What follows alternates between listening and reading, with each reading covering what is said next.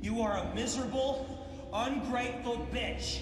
You have no idea how much you have wasted your life being afraid of the dead. Because pretty soon, you're going to be one of them. Then when I take you to my home in the dark, you'll realize how happy you should have been